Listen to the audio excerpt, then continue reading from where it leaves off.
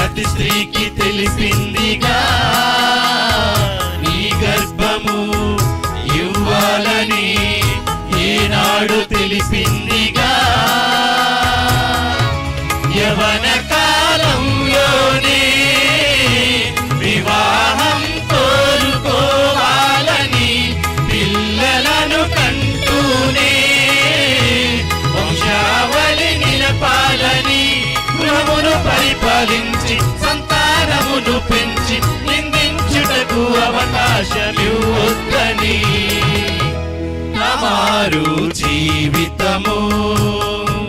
సంతానమే కారణము. తమారు జీవితము. శ్రీజాతికి గుణపాఠము.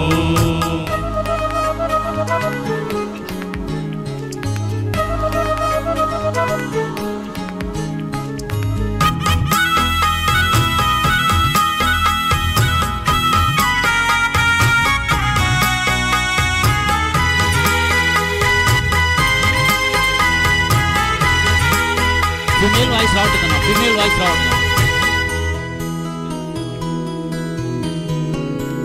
కన్యత్వము నీ భర్త కొరకు కాపాడుకోవాలిగా. పిల్లల కోసమే నీ దేహము దేవుని కర్పించాలిగా.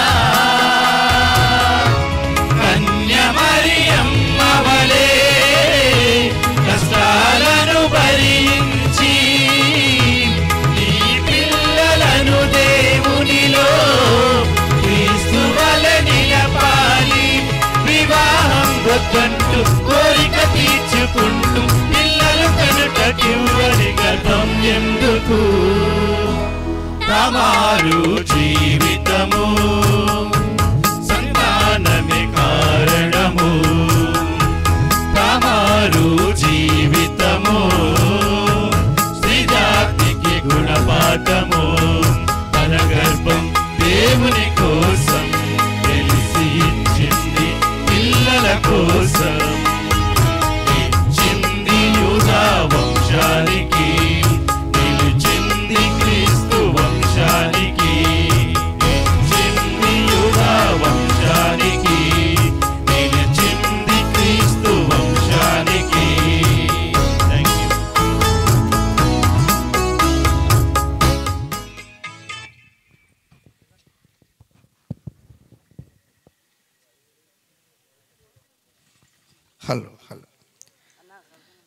పాటలు పాడి వినిపించిన కళాశాల విద్యార్థిని విద్యార్థులకు సభ తరపున ధన్యవాదములు తెలియజేస్తున్నాను.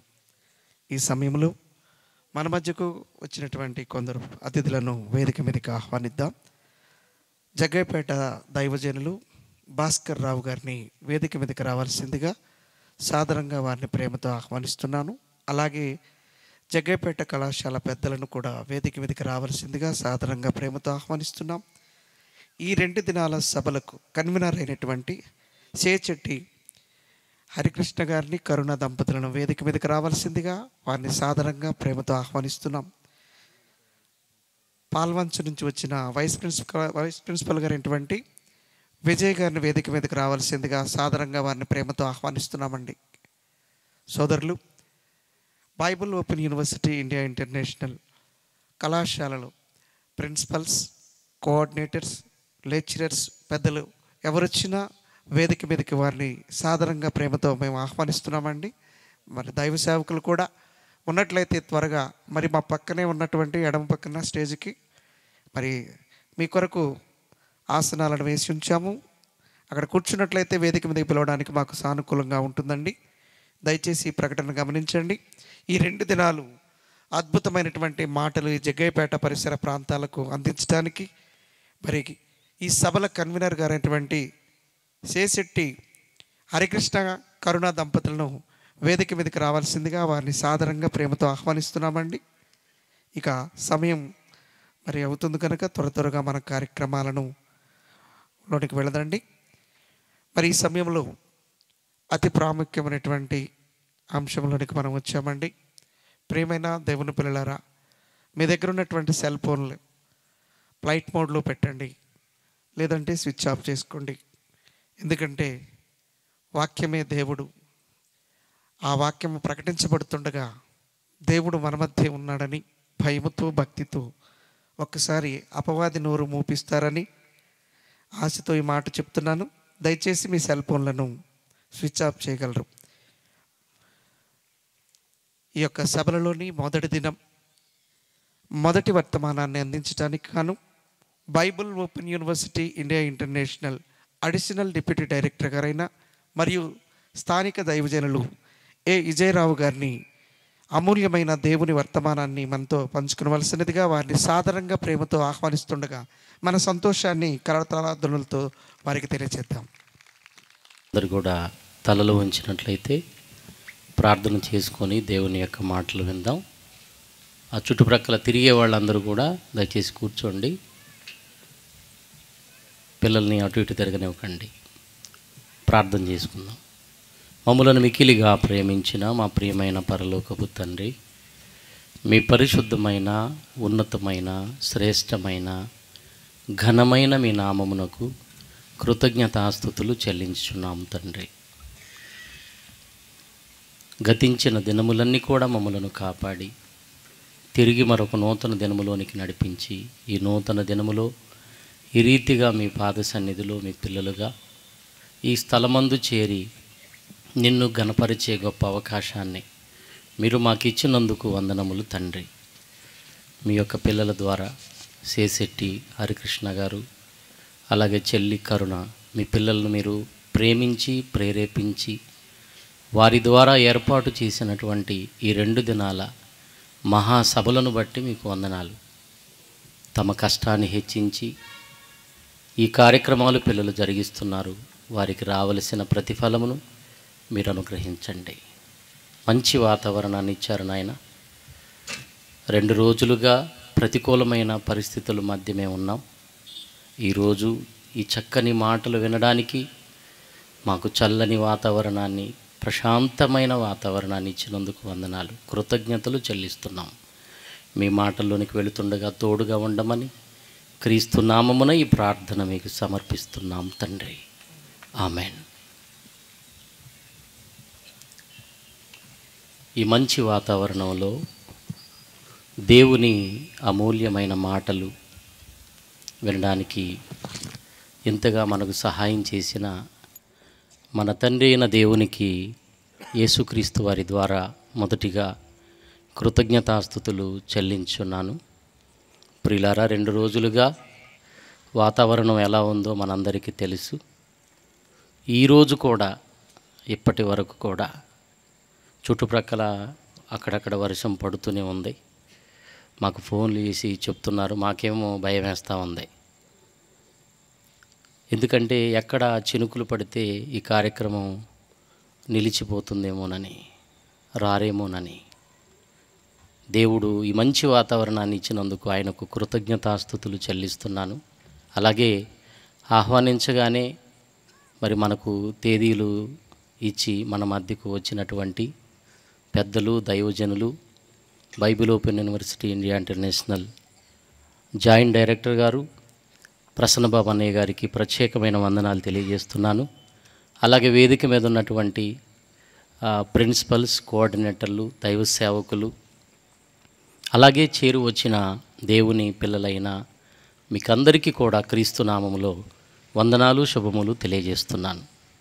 ప్రియమైన దేవుని వారలారా మొదటి రోజు ఈరోజు కొంచెం ఆలస్యంగా ప్రారంభిస్తూ ఉన్నాము. అయినా పర్వాలేదు.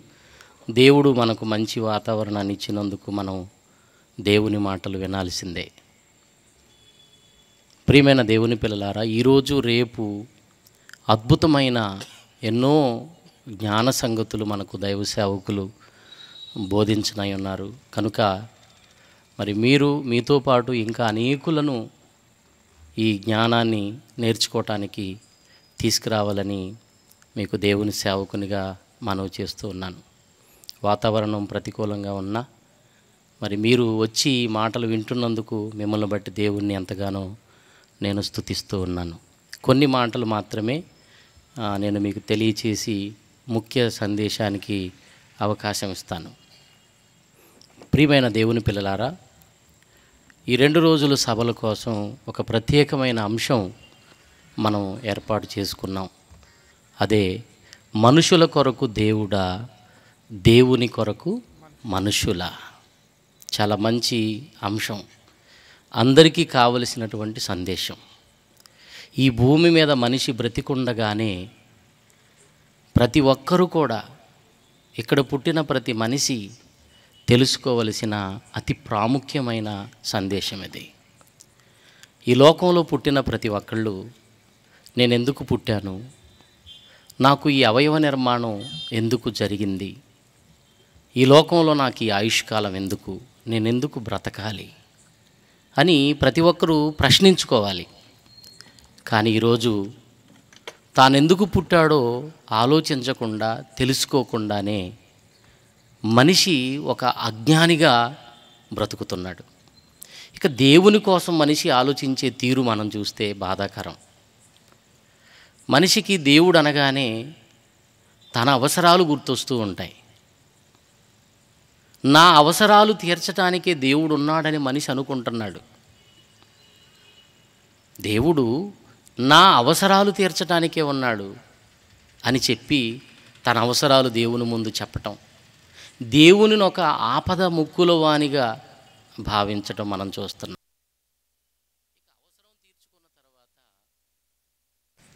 హలో. దేవుని కోసం ఆలోచించేవాడుగా లేడు మనిషి. ఎందుకంటే తన అవసరం తీరిపోయింది కదా. ఈరోజు సమాజంలో వాడుకొని వదిలేసే వస్తువులు మన కళ్ళ ముందున్నాయి. వాడుకోవడం వదిలేయటం. యూజ్ అండ్ త్రో ప్రియమైన దేవుని పిల్లలారా దేవుణ్ణి కూడా ఈరోజు మనిషి వాడుకుంటున్నాడు తన అవసరం తీరగానే వదిలేస్తున్నాడు. అంటే మనిషి ఏం అర్థం చేసుకున్నాడు అంటే నా అవసరాలకే దేవుడు ఉన్నాడు దేవుడున్నది నా కొరకే నా అవసరాలు తీర్చడం కొరకే అనుకున్నాడు. అవసరాలు తీర్చుకునే పని పనిలో తానున్నాడు. ఇక దేవుడు నా అవసరాలు తీరుస్తాడని ఎదురు చూస్తూ ఉన్నాడు. క్రైస్తవ్యంలో కూడా చాలామంది ఇదే ఆలోచనతో లోకంలో ఉన్న మనుషులు ఎలాంటి ఆలోచనతో ఉన్నారో ఈరోజు దేవుని పిల్లలని చెప్పుకునే వాళ్ళు కూడా చాలామంది అందరూ కాదు చాలామంది ఇదే ఆలోచనతో ఉన్నారు. ఏంటంటే దేవుడు మా అవసరాలు తీర్చేవాడు. మరి నిన్ను ఎందుకు సృష్టించాడో ఎప్పుడైనా ఆలోచించావా? నిన్ను దేవుడు ఎందుకు కష్టపడి చేశాడో ఎప్పుడైనా ఆలోచించావా? ప్రియమైన దేవుని పిల్లలారా ఆలోచించాలి. మన కళ్ళ ముందున్న ఈ ప్రకృతిలో ఎన్నో వస్తువులు ఉన్నాయి ఈ వస్తువులన్నిటిని దేవుడు ఎందుకు చేశాడో తెలుసా? తన పిల్లలైన మన కోసమేనండి. సృష్టిలో దేవుడు లెక్క పెట్టలేనని వస్తువులు పెట్టి ఇవన్నీ మీకోసమే చేశాను అని దేవుడు చెప్పాడు. ఆకాశము ఆకాశములో ఉన్నవి భూమి భూమి మీద భూమి లోపల ఉన్నవి సముద్రము సముద్ర గర్భములో ఉన్నవి. ఇవన్నీ ఎవరి కోసము అంటే మన కోసమే. ఆదికాండము మొదటి అధ్యాయము ఇరవై తొమ్మిదో వచనాన్ని మీరు చూడగలిగితే ప్రియులారా ఆదికాండము మొదటి అధ్యాయము ఇరవై తొమ్మిదో వచనంలో సృష్టినంతటిని దేవుడు చేసిన తర్వాత ఆరు రోజులు తన సృష్టి కార్యాన్ని చేసిన తర్వాత ఆయన మాట్లాడుతున్న మాటలు చూడండి. దేవుడు ఇదిగో భూమి మీదనున్న విత్తనములిచ్చు ప్రతి చెట్టును విత్తనములిచ్చు వృక్ష ఫలములు గల ప్రతి వృక్షమును మీకిచ్చి ఉన్నాను అవి మీకు ఆహారమగును అన్నాడండి. అంటే భూమి మీద ఉన్న చెట్లు ఏమండి? విత్తనములిచ్చు చెట్లు ఇవన్నీ కూడా ఎందుకు అంటే ఇవి మీకు ఆహారంగా మారాలి. మీకు ఆ మాట చూడండి మీకు మీ కొరకే చేశాను. మీ ఆకలి తీర్చడం కోసం చేశాను. మీ అవసరాల కోసం నేను చేశాను. చూసారా ఈ ప్రకృతిలో ఉన్నవన్నీ మన అవసరం కోసం మన కోసం దేవుడు చేశాడు ప్రియమైన దేవుని పిల్లలారా. అన్నిటినీ మన కోసమే చేశాడు. పక్షులు జంతువులు జలచరములు అన్నీ అన్నీ మన కోసమే చేయబడ్డాయి. ఆకాశములో ఉన్న వస్తువులు ఎవరి కోసం? ఆకాశంలో మనకు సూర్యుడు కనిపిస్తున్నాడు చంద్రుడు కనిపిస్తున్నాడు నక్షత్రాలు కోట్లాదిగా కనిపిస్తున్నాయి గ్రహాలు ఉన్నాయి. ఇవన్నీ ఎవరి కోసం అంటే ఇవి కూడా మన కోసమేనండి. ఆది కారణం మొదటి అధ్యాయం పద్నాలుగు వచ్చిన ఆయన అంటాడు ఇవన్నీ భూమి మీద నా పిల్లలకు వెలుగివ్వాలి. భూమి మీద ఉన్న నా పిల్లలకు వెలుగునివ్వాలి. అంటే నా పిల్లల కోసమే అన్నాడండి. ఆకాశములో ఉన్నవి మన కోసం భూమి మీద ఉన్నవి మన కోసం సముద్రములో ఉన్నవి జలచరములన్నీ మన కోసమే. అన్నీ మన కోసమేనండి. ఈ సృష్టిలో ఉన్నవన్నీ మన కోసమే. ఇక పరలోకంలో ఏమున్నాయని మనం ఆలోచిస్తే దేవుని సముఖంలో కోట్లాది మంది దేవదూతలు ఉన్నారు బైబిల్ చెప్తుంది వారి లెక్క కోట్ల కొలదిగా ఉండెను. ఈ కోట్ల కొలదిగా ఉన్న ఈ దూతలను దేవుడు ఎందుకు చేశాడో తెలుసా? మన కొరకే. మనుషుల కొరకే. హెబ్రిలకు రాసిన పత్రిక మొదటి అధ్యాయము పద్నాలుగో వచనాన్ని మీరు చూస్తే ప్రియులారా వీరందరూ వీరంటే ఎవరు? పరలోకములో ఉన్న దూతలందరూ. వీరందరూ రక్షణయను స్వాస్థ్యము పొందబోవు వారికి పరిచారము చేయుటకై పంపబడిన సేవకులైన ఆత్మలు కారా. చూసారా భూమి మీద ఉన్నవే కాదు పరలోకములో ఉన్న దూతలన్నీ పరలోకములో ఉన్న దూతలందరూ మన కోసమేనటండి. రక్షణయను స్వాస్థ్యము పొందేదెవరు? మనమే. యేసుక్రీస్తును నమ్మి బాప్తిస్మము తీసుకొని సంఘములో చేర్చబడిన మనమే రక్షణయను ఆ దేవుని స్వాస్థ్యమునకు అర్హులం వారసులం. రక్షణయను స్వాస్థ్యమును పొందబో వారికి పరిచారము చేయుటకు పంపబడిన సేవకులైన ఆత్మలు కారా.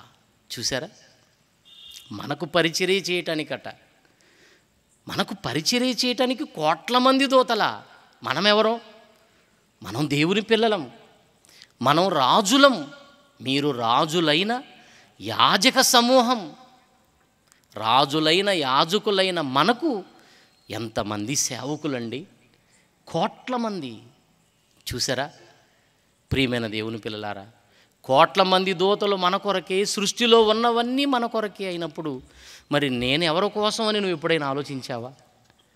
నేను ఎవరి కోసం ఉన్నాను? ఎవరి కొరకు బ్రతుకుతున్నాను?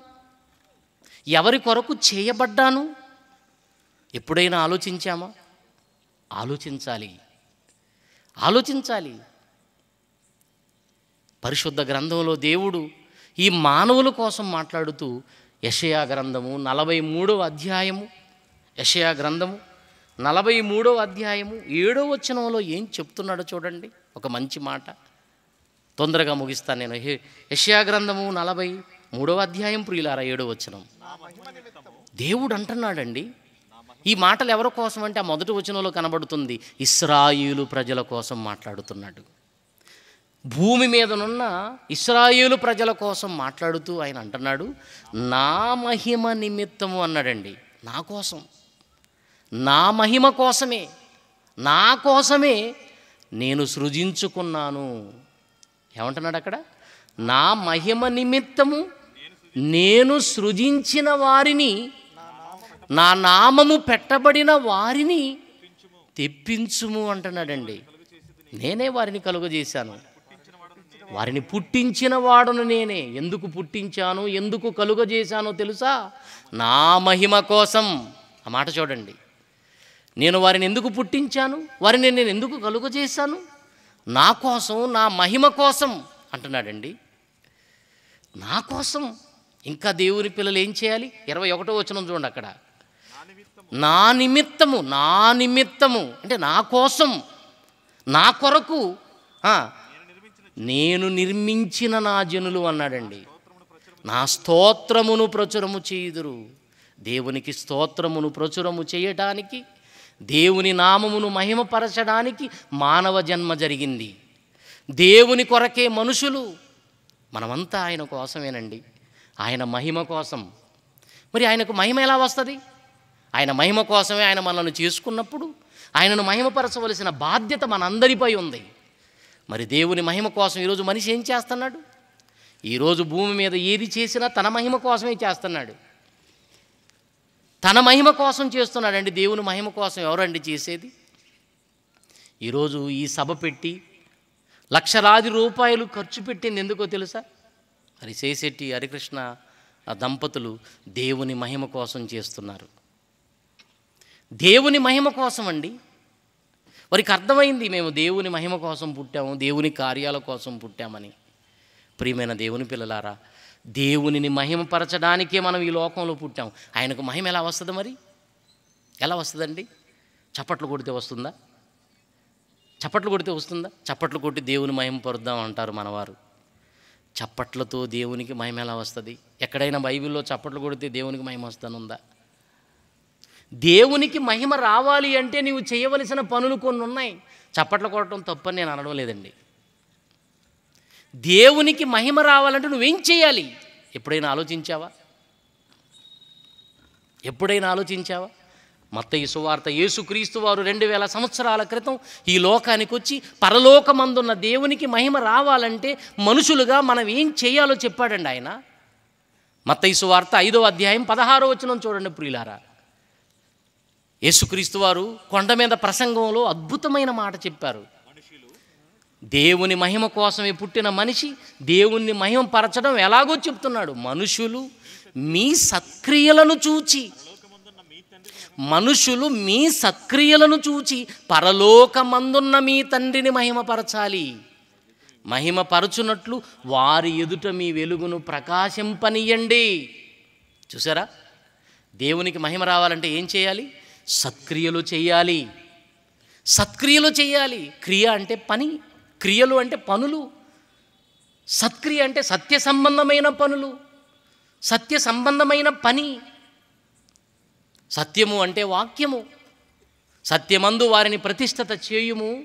నీ వాక్యమే సత్యమని యేసుక్రీస్తు వారు చెప్పారు. సత్య సంబంధమైన కార్యక్రమాలు చేయడానికే మనం పుట్టాం ప్రియులారా. వాక్యపు పనులు.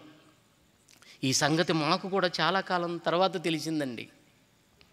ప్రియమైన దేవుని పిల్లలారా ఆ తర్వాత దేవుని పని చేయాలి. దేవుని కొరకు ఏదో చేయాలి బ్రతికుండగానే. చాలామంది బ్రతికున్నప్పుడు నిర్లక్ష్యం చేస్తారండి. ప్రియులారా మనం ఏం చేసినా భూమి మీద ఉన్నప్పుడే చేయాలండి దేవుని మహిమ కోసం. చనిపోయిన తర్వాత అవకాశం లేదు. చనిపోయిన తర్వాత నీకు దేవుని పని చేసే అవకాశం లేదు. దేవుని మహిమపరిచే అవకాశం లేదు. భూమి మీద ఉన్నప్పుడే ఉంది అవకాశం. సత్క్రియలు చేయాలి. సత్క్రియలు చేయాలి. తద్వారా దేవునికి మహిమ రావాలి అనుకున్నాడు దేవుడు.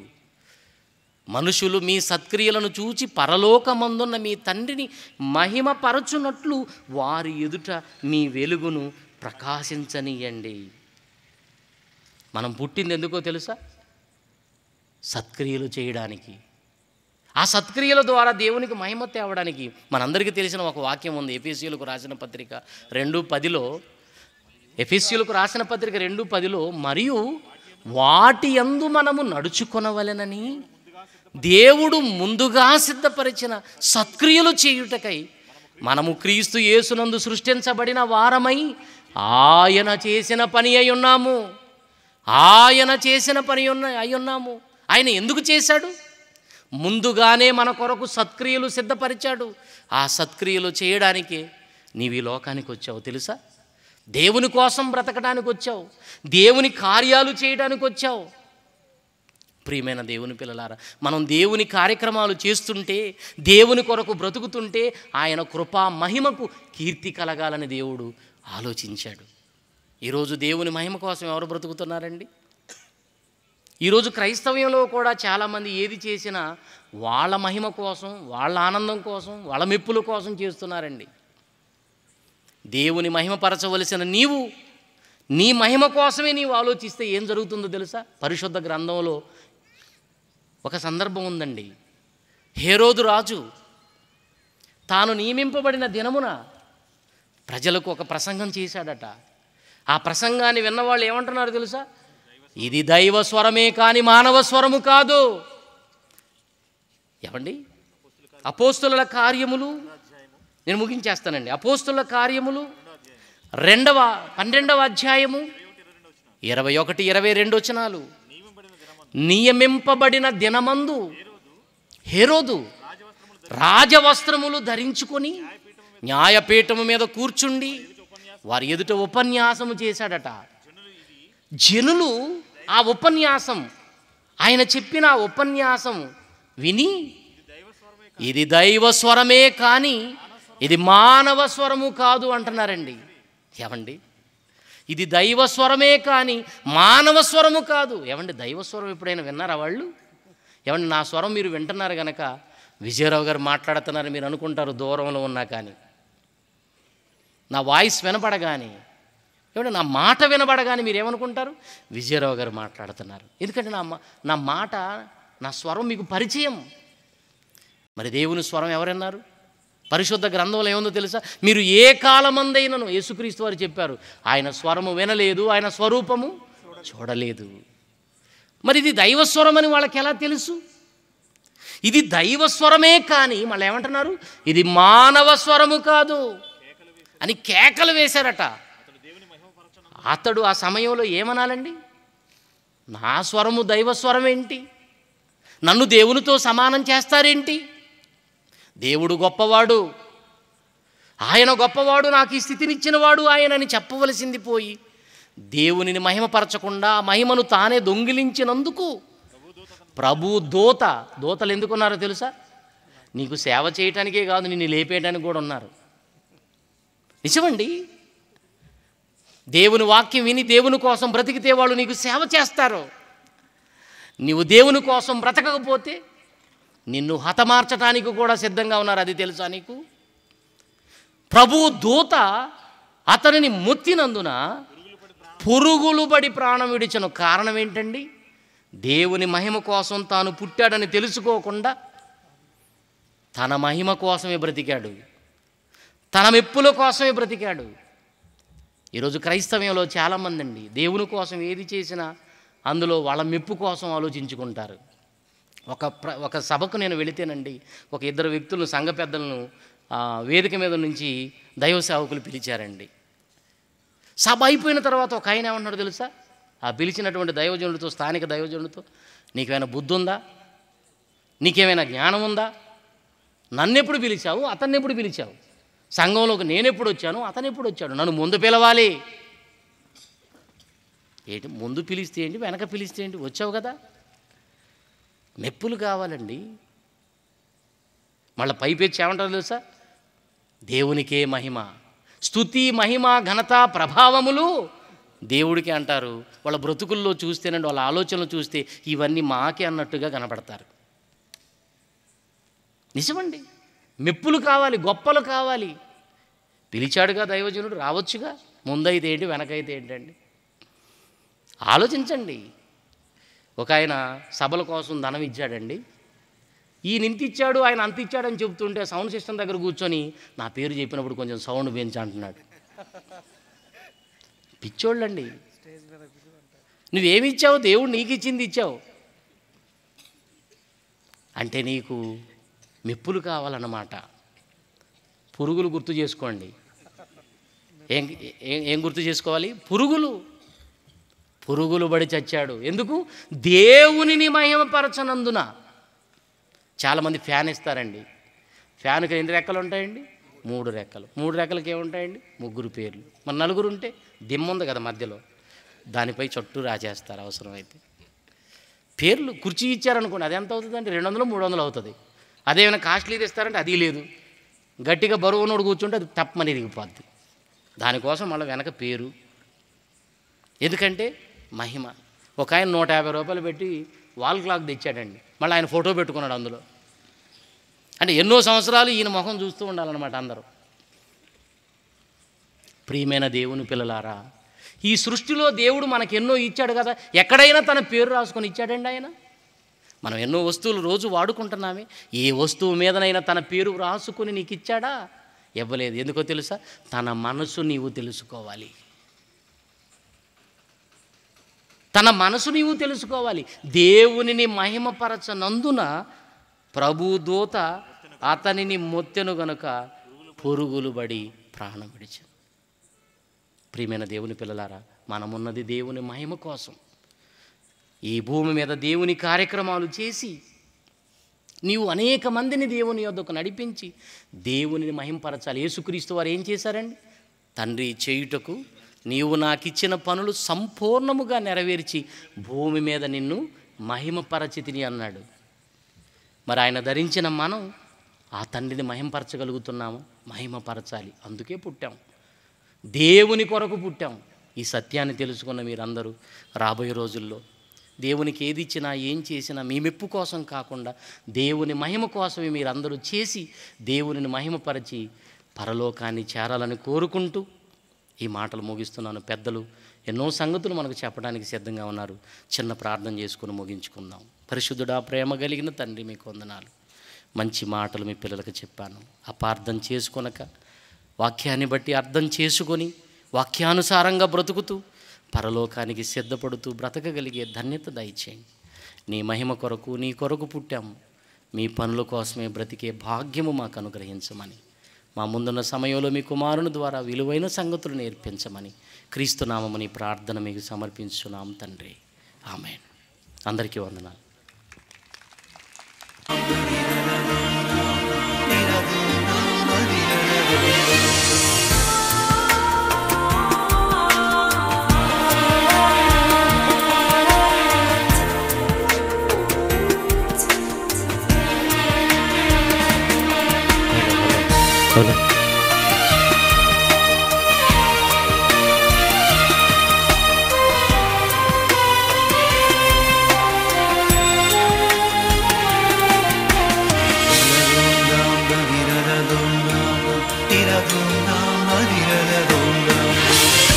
దేవా నీదు నామము అందమైన శ్రేష్టము.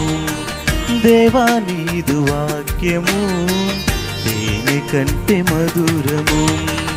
అని తెలిపేనులే నీదు సంకల్పం. అని తెలిపేనులే నీదు సంకల్పం.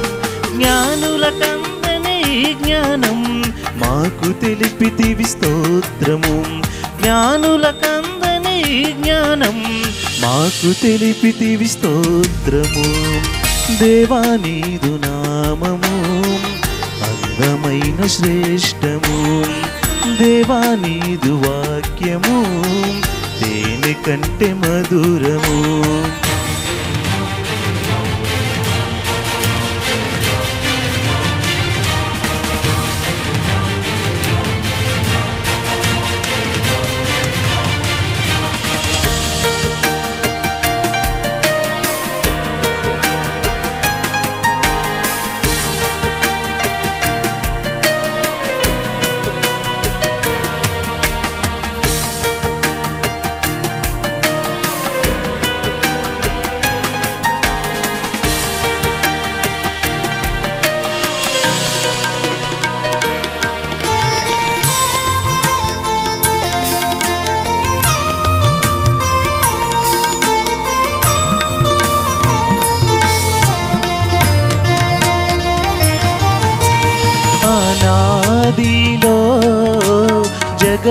నాది లేనప్పుడు నీకు పిల్లలుగా మాము ఏర్పరచితివే.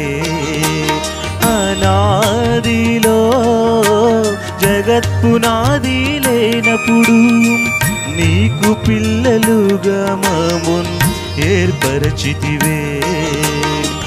నేను స్థుతించాలని నీ సేవ చేయాలని. పరిశుద్ధులై ఉండాలని. నిర్దోషులై నిలవాలని. అని తెలిపెను నీ వాక్యమే బోధించును కర్తవ్యమే. అని తెలిపెను బోధించే కర్తవ్యమే దేవా నీదు నామము అందమైన శ్రేష్టము దేవా నీదు వాక్యము దేని కంటే మధురము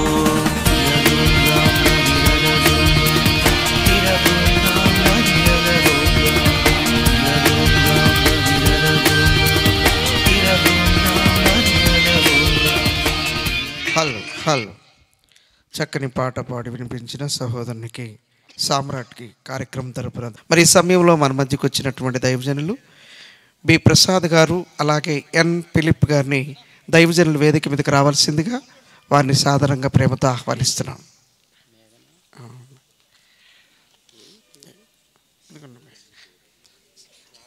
రాజు మేఘన. రాజు మేఘనాకి దేవుడిచ్చినటువంటి కుమార్తె సంగీత మైకి ఉన్నాను అన్నయ్య ప్రేయర్ చేస్తారు అన్నప్రాసన అన్నప్రాసన కొరకు అన్నయ్య గారు ప్రేయర్ చేస్తారు. అలాగే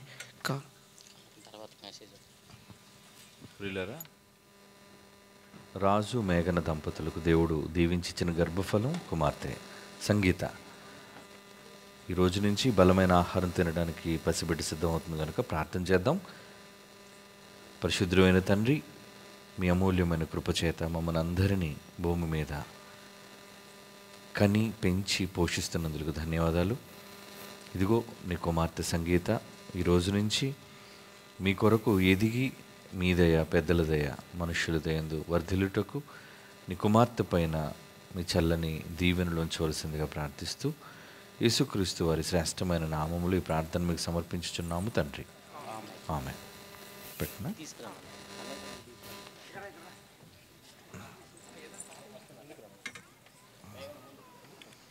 కొడుతుంటావా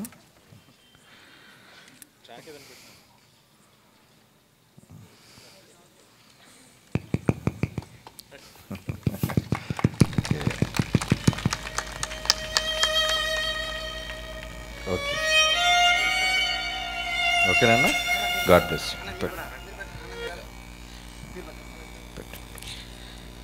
అలాగే కళాశాల పెద్దలు విజయరావు అన్నయ్య గారు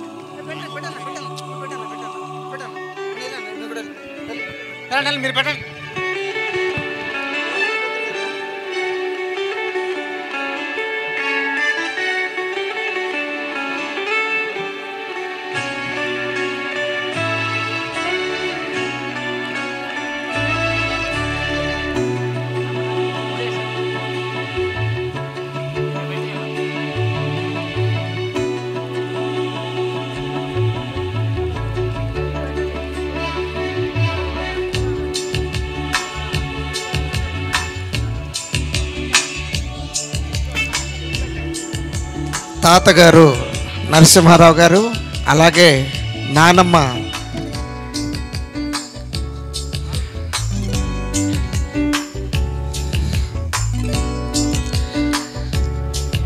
దీనమ్మ గారు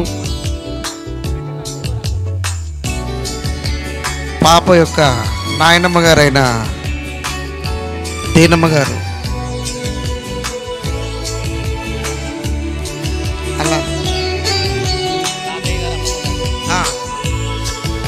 పాప యొక్క తాతయ్య గారు అమ్మమ్మ గారు.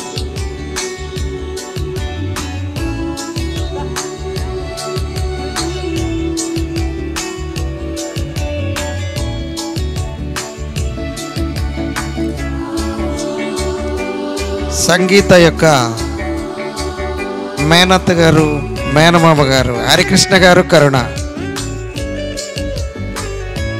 మేనమామ హరికృష్ణ గారు మేనత్త కరుణ గారు.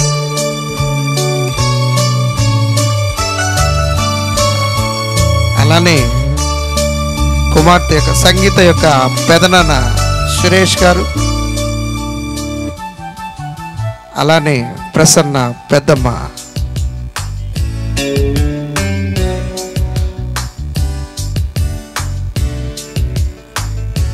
భాగ్యమ్మ గారు మహాలక్ష్మి గారు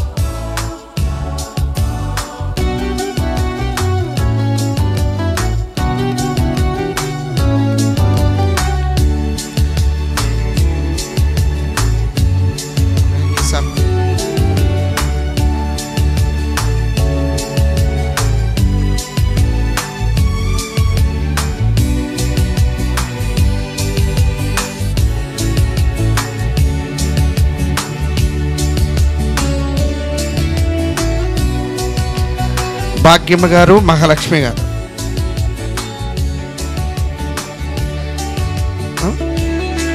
నాగేశ్వరరావు గారు సరోజిని గారు. తాతయ్య అమ్మమ్మ. నాగేశ్వరరావు గారు సరోజిని గారు.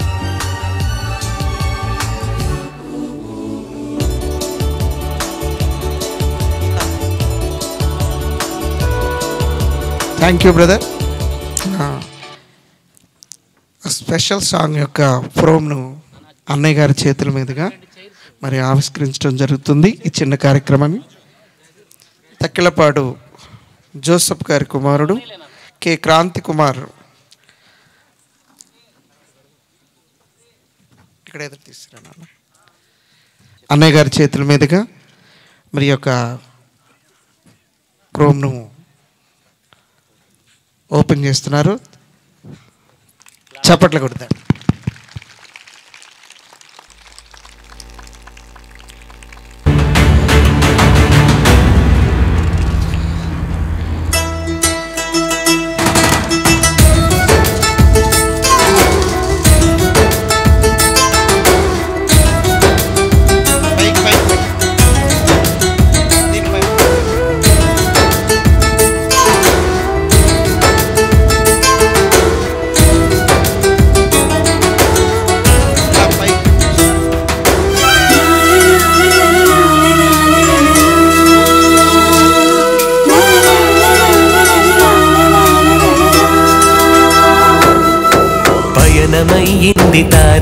తారమనకై సాక్ష్యమిచ్చేందుకు పరలోక సైన్యమే కదిలి వచ్చింది రుజువు చూపమనకు.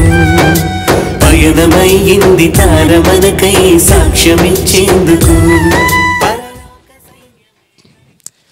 ప్రభునందు ప్రేమైన దేవుని పిల్లరా అతి ప్రాముఖ్యమైనటువంటి ఘట్టంలోనికి మనం వచ్చాము.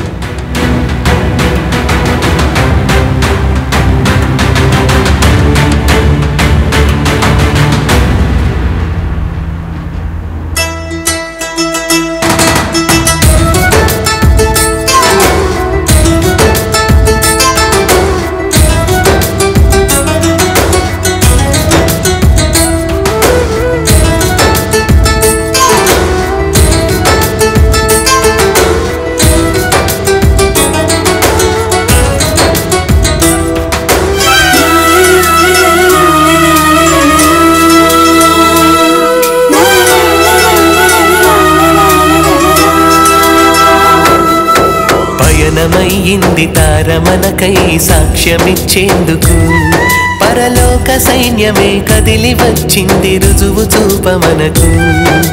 పయనమయ్యింది తారమనకై సాక్ష్యమిచ్చేందుకు. పరలోక సైన్యమే కదిలి వచ్చింది రుజువు చూపమనకు. దావీదు పట్టణమందు రారాజు ఉదయించగా లోకానికే రక్షణ అనుగ్రహించేందుకు. దావీదు పట్టణమందు రాజము దయించగా లోకానికే రక్షణ అనుగ్రహించేందుకు. పయనమయ్యింది తారమనకై సాక్ష్యమిచ్చేందుకు. పరలోక సైన్యమే కదిలి వచ్చింది రుజువు చూపమనకు.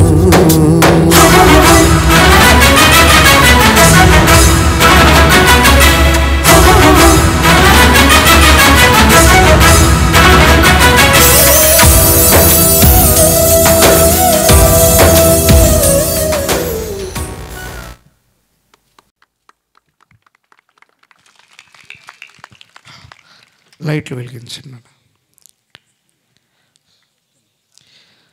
అతి ప్రాముఖ్యమైనటువంటి అంశంలోనికి మనం వచ్చామంటే సమయంలోనికి Bible open university India international joint director గారైనటువంటి doctor and professor Lazarus Prasanna Babu గారిని అమూల్యమైనటువంటి దేవుని మాటలు మనందరితో మరి మాట్లాడవలసినదిగా సాధారణంగా వారిని ప్రేమతో ఆహ్వానిస్తుండగా మన సంతోషాన్ని ఆనందాన్ని తెలియచేద్దండి పిల్లరా పరిశుద్ధుడమైన తండ్రి నీ ప్రియమైన పిల్లలతో కలిసి మరలా నీ వాక్యమును పంచుకొనుటకు ఈ పట్టణానికి మమ్మల్ని తీసుకొని వచ్చినందుకు ధన్యవాదాలు.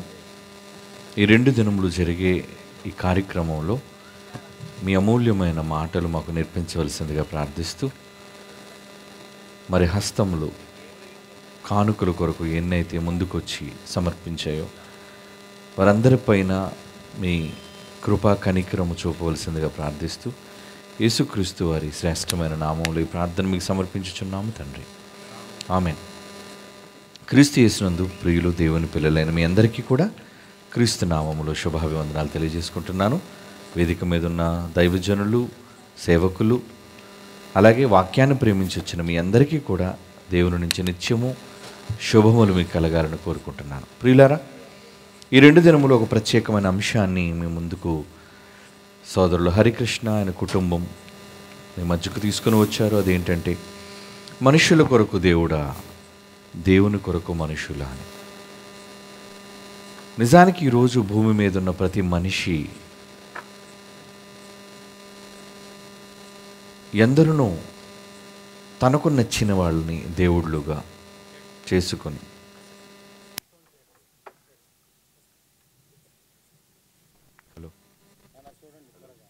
వాయిస్ పెంచండి ఓకే సమయం లేదు క్షమించండి చాలా ఆలస్యమైంది. ఇప్పటికే పావుతకు పద పది అవుతుంది. త్వరగా మరి మిమ్మల్ని ఇంటికి పంపించేటట్లుగా నేను నా మాటలు క్లుప్తపరిచి మీకు దేవుని జ్ఞానపు మాటలు నేర్పించాలని ఆశపడుతున్నాను ప్రియులారా ప్రపంచంలో ఉన్న ప్రతి మనిషి తాను నమ్ముకున్న దేవుని దేవునిగా కొలుస్తూ ఈరోజు ప్రపంచవ్యాప్తంగా ఉన్న మనుష్యుల సంఖ్యను మనం ఆలోచిస్తే సుమారుగా దాదాపుగా ఎనిమిది వందల కోట్ల మందికి సంఖ్య చేరినట్లుగా మనకు తెలుసు. ఇక రాష్ట్రాలను బట్టి దేశాలను బట్టి ప్రాంతాలను బట్టి కూడా ఎందరో దేవుళ్ళు మనుష్యులలాగే వారు కూడా కోట్ల సంఖ్యలోనే పెరిగిపోయినట్లుగా మనకు తెలుసు. అయితే భూమి మీద జన్మించిన మనుష్యులు ఎవరి కొరకు వారు జీవిస్తున్నారు ఎవరిని బట్టి జీవిస్తున్నారు అన్న విషయాన్ని గురించి మనం ఆలోచించాలి. ఈరోజు ప్రపంచంలో మనుషులు కష్టం కలిగినప్పుడు ఇబ్బంది కలిగినప్పుడు వెంటనే స్మరణకు తెచ్చుకునేది తాము నమ్ముకున్న తమ దేవుణ్ణి. అంటే భూమి మీద తాము బ్రతికే ఈ జీవిత కాలంలో తమకు అంతా క్షేమం కలగాలి అని తమ దైవాన్ని వాళ్ళు ప్రార్థిస్తూ ఉంటారు. ప్రియులారా వారికి ఉన్న విశ్వాసం లేదా వారు నమ్ముకున్న దేవుడు పైన వాళ్ళకున్న నమ్మకం తమకు మేలు కలుగజేస్తుంది అన్న ఆశతో వాళ్ళు బ్రతుకుతూ ఉంటారు. అయితే కేవలం మనుషుల యొక్క కోరికలను తీర్చడానికి మాత్రమే దేవుడున్నాడా? మనుషుల యొక్క కోరికలను వారి ఇష్టాలను నెరవేర్చడానికే దైవం ఉన్నదా అన్నది మనం ఆలోచించాలి. ఈ ప్రకృతి ఎందుకు కలిగింది? ఈ సృష్టి ఎందుకు ఆవిర్భవించింది? మనిషి జన్మ ఎందుకు ప్రారంభమైంది? అన్న విషయాలను గూర్చి ప్రతి మనిషి క్షుణ్ణంగా పరిశీలించగలిగితే మనుషుల కొరకు దేవుడున్నాడా? దేవుని కొరకు మనుషులున్నారా అనేది వాళ్ళకి అర్థమయ్యేది స్పష్టంగా. కానీ ఈరోజున్న సమాజం ఎలా మారింది అంటే కేవలం తమ కొరకు మాత్రమే దైవం ఉన్నట్లుగా తమ అక్కరులను తీర్చడానికి ఒక మహాశక్తి ఉన్నట్లుగా చివరకు ఆ దేవుడిని ఏ విధంగా ఉపయోగించుకుంటున్నారు అంటే మారణకాండ జరిగించడానికి ఎదుటి మనిషిని హింసించడానికి మతాల పేరట మనుషుల మధ్య విభేదాలను సృష్టించడానికి. ఈరోజు ప్రపంచంలో జరుగుతున్న యుద్ధాలను గురించి ఆలోచిస్తే దేశాల మధ్య యుద్ధాలు ఎలాగైతే జరుగుతున్నాయో చివరకు దేవుళ్ళు పేరు చెప్పుకొని కూడా యుద్ధాలు చేసేటంతటి పరిస్థితికి ఈరోజు సమాజం ఎదిగిపోయింది. అంటే తమ దేవుని పేరు చెప్పి యుద్ధాన్ని జరిగించే వాళ్ళు ఈ ప్రపంచంలో లేరా?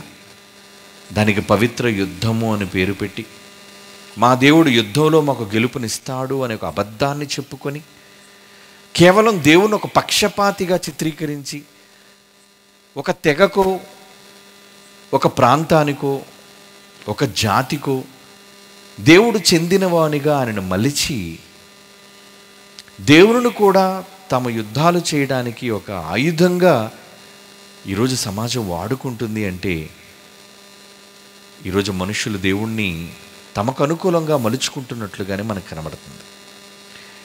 నిజానికి బైబిల్లో ఒక మాట చూద్దాం. యోహాను సువార్త పదహారో అధ్యాయం రెండో వచ్చిన చూడండి. యోహాను సువార్త యేసుప్రభు వారు అన్న మాట పదహారో అధ్యాయం రెండవ వచనం మిమ్మును చంపు ప్రతివాడు. తాను దేవునికి సేవ చేయుచున్నాను అని అనుకును కాలము వచ్చుచున్నది అంటున్నాడు చూడండి. అంటే మిమ్మల్ని చంపటం కూడా దేవుని సేవ. ఒక పవిత్ర యుద్ధము అని పేరు పెట్టి దారుణమైన విధానంలో మనుషుల ప్రాణాలను తీయటం కూడా ఇది దైవ సంకల్పం. దేవుడు మాకు ఆదేశించిన శాసనం అని చెప్పుకొని తమ యుద్ధ తమ యుద్ధాల కోసం తమ దుర్మార్గాల కోసం దేవునినే వాడుకుంటున్న సమాజం ఈరోజు.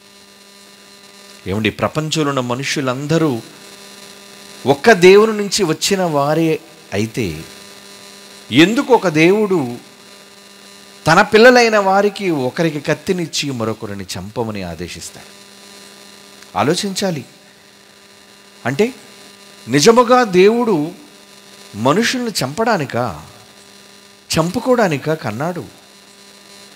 కనుక ఈరోజు సమాజం దేవుని కూడా తమ స్వార్థపూరిత ప్రయోజనాల కోసం దేవుని పేరును వాడుకుంటున్నారు.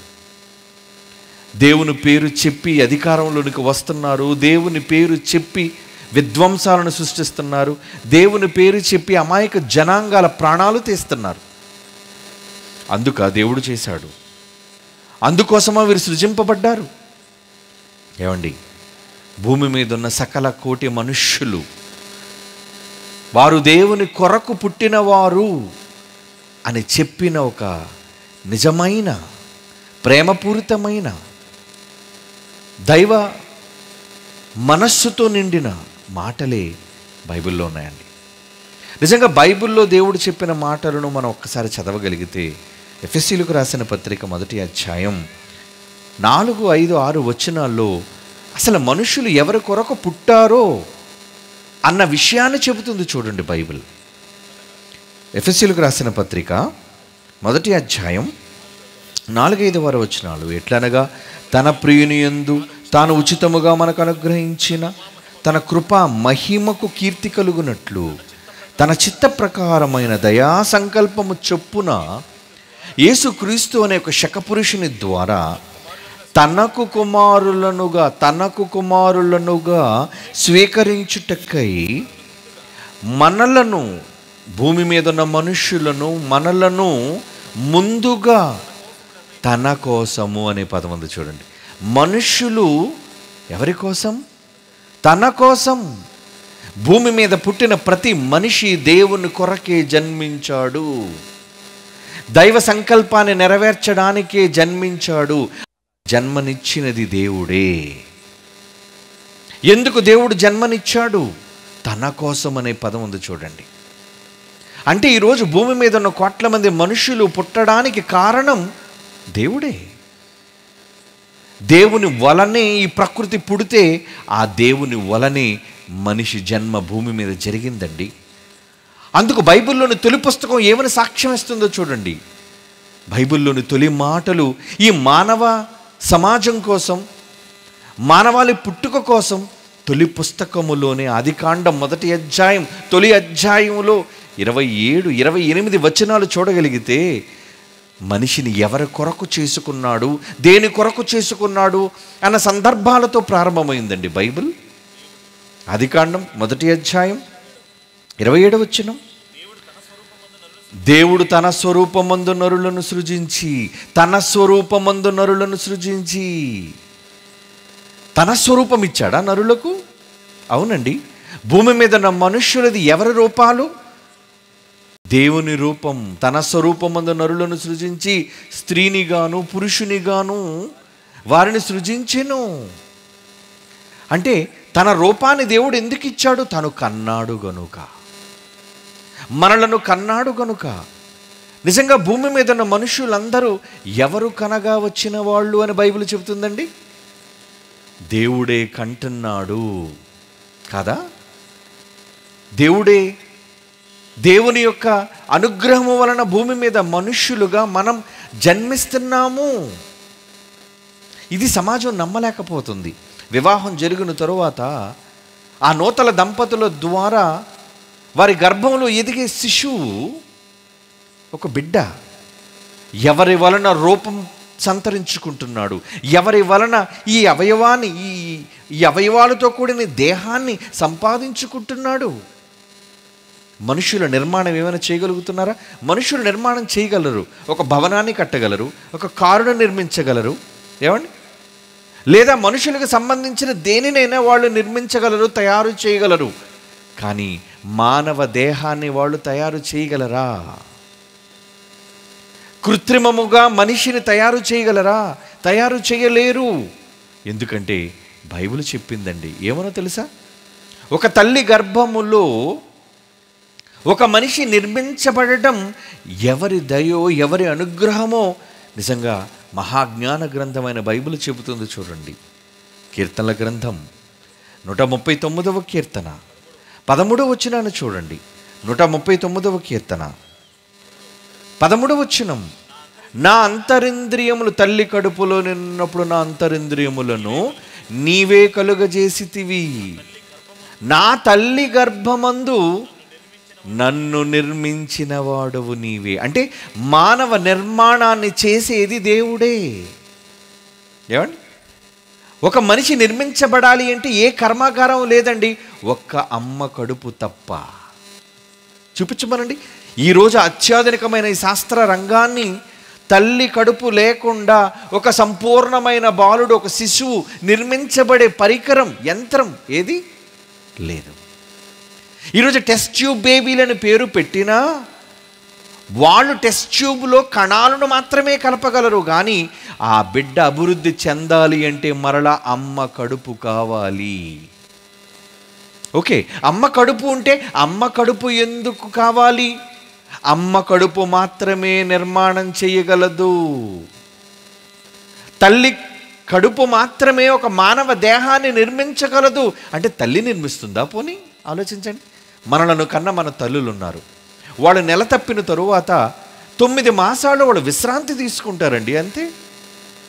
కానీ ఈరోజు మనకున్న ఈ దేహంలోని అవయవాలు కళ్ళు ముక్కు చెవులు బయట కనిపించే అవయవాలు లోపల ఉన్న అవయవాలు వీటిని నిర్మించింది ఎవరు చెప్పండి. నా అంతరింద్రియములను నీవే కలుగజేసితివి. నా తల్లి గర్భమందు నన్ను నిర్మించిన వాడవు నీవే అంటున్నాడు చూడండి భక్తుడు. తల్లి కాదు దేవుడే. ఏమండి ఇక దేవుడు ఎలా చేస్తున్నాడు అంటే యోబు గ్రంథంలో ఒక మాట ఉందండి. యోబు గ్రంథం పదవ అధ్యాయం ఎనిమిదవ వచనం చూడండి. యోబు గ్రంథం పదవ అధ్యాయం ఎనిమిదవ వచనం. నీ హస్తములు నీ హస్తములు అంటున్నాడు చూడండి.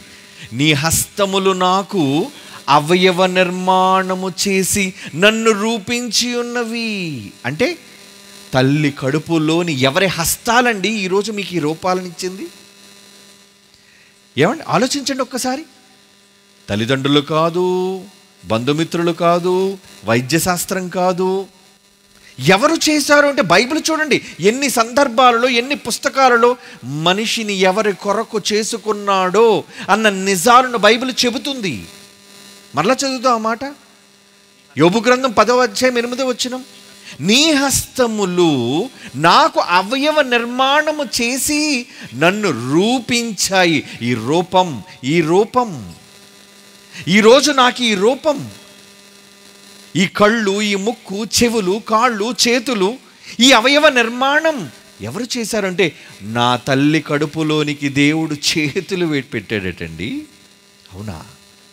అంటే మీ నిర్మాణం నా నిర్మాణం. ఈరోజు భూమి మీద పుడుతున్న ఎనిమిది వందల కోట్ల మంది సంతానం. వాళ్ళ నిర్మాణాలు ఎలా జరిగాయి? ఎవరు చెయ్యగా జరిగాయి? మనిషి తాను స్వంతగా నిర్మించుకున్నది కాదు. తన ఇష్టాన్ని బట్టి నిర్మించుకున్నది కాదు ఈ దేహం. అలా అనుకుంటే కొందరు నల్లగా ఎందుకు పుడతారు చెప్పండి? నిర్మాణం మన చేతిలోనుంటే మనకు నచ్చినట్లుగానే మనం చేసుకుందాం. మనకు నచ్చినట్లుగా ఎలాగైతే బొమ్మను గీసి మనము నచ్చిన రంగులు వేసుకుంటామో మనిషికి అధికారం లేదు. ఎందుకంటే దేవుడే తన హస్తములతో మీకు అవయవ నిర్మాణం చేశాడా? ఏంటి ఆయన శ్రద్ధ? మీ అవయవాలు దేవుని వలన రూపించబడ్డాయా? ఏంటి భాగ్యం? లోకాలను సృష్టించిన దేవుడు తల్లి కడుపులోనికి వెళ్ళి ఎంతకాలం చేశాడో తెలుసా మీకు? ఏమండి? తొమ్మిది మాసాలండి. కదా? తొమ్మిది మాసాలు చేస్తున్నాడు. ఇంత పెద్ద నిర్మాణమా? అంతా కలుపుకుంటే పుట్టేటప్పుడు ఒక అడుగు ఏమండి? ఇంకా చూస్తే అరిచేయి అంత పసిబిడ్డగా జన్మించిన వాళ్ళు కూడా ఉన్నారండి. ఈ చిన్న నిర్మాణాన్ని చేయడానికి తొమ్మిది మాసాలా? అవును. అంటే ఆ దేవునికి మన జన్మ కోసం ఎందుకు ఈ ఆసక్తి? ఏ ఒక్కరి జన్మ కోసం కాదండి. భూమి మీద పుట్టిన మనుషులందరి జన్మ కోసం చెబుతున్నాడు ఈ మాట. ఏ ఒక్కరినో నేను చేసుకున్నాను అనలేదు తల్లి గర్భములో మనందరిని నీది నీది నీది నీది మనందరిది. ఈ నిర్మాణాన్ని దేవుడు చేశాడా? ఒక తల్లి కడుపులోని దినదినము దినదినము అవయవాలు నిరూపించబడుతున్నప్పుడు ఏమండి? నూట ముప్పై తొమ్మిదవ కీర్తనలోని పదహారు వచనంలో ఏమంటున్నాడు చూడండి? నూట ముప్పై తొమ్మిదవ కీర్తనలోని పదహారవ మాట. నేను పిండమునయ్యుండగా నీ కన్నులు నన్ను చూచాయి. ఏంటి ఆసక్తి ఆయనకి? మీ కన్ను ఆయన కన్నులు మిమ్మల్ని ఎందుకు చూడాలి? ఆ, నియమింపబడిన దినములలో ఒకటైనను కాక మునుపే నా దినములన్నీ నీ గ్రంథములో లిఖితములు ఆయన లిఖితములట రాసుకుంటున్నాడా? ఆ ఫుట్ నోట్లో ఏమని రాసుకున్నాడని ఉందో చూడండి అక్కడ ఎంత చక్కగా ఉందో మంచి మాట. నిజంగా మమ్మల్ని ఎంతగానో ఆకట్టుకునే మాట అండి.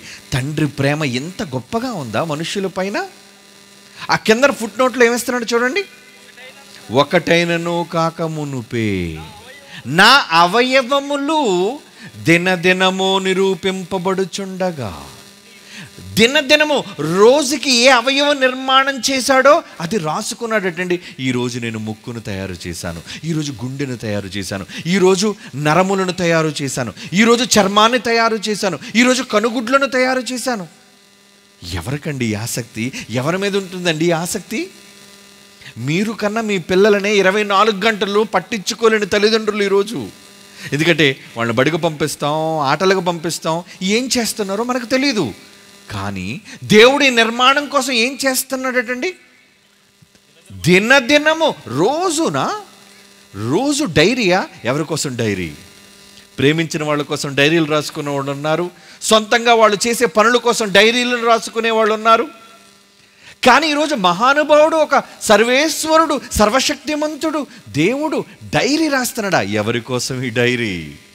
ఆయన పర్సనల్ డైరీ ఆయన సొంత డైరీ ఆయన సొంత డైరీ తెరవగానే కనిపించేది నీ రూపం. ఎన్ని డైరీలు రాశాడు ఆయన? ప్రతి దినము అవయవం నిరూపించబడుచుండగా అవన్నీ ఎవరి గ్రంథం అంటున్నాడు? నీ గ్రంథం గాడ్స్ డైరీ. దేవుడు డైరీలో మీకోసం రాసుకున్నాడా? ఇంత గొప్ప సర్వేశ్వరుడైన దేవుడు శక్తిమంతుడు నీ రూపాన్ని తయారు చేయడంలో డైరీలు రాసుకుంటే ఆయన ముందు ఎన్ని కోట్ల డైరీలు ఉంటాయో ఆలోచించండి. ఏమండి? ఒక్కొక్క మనిషికి సంబంధించిన ఒక్కొక్క డైరీ. ఆయన గ్రంథం.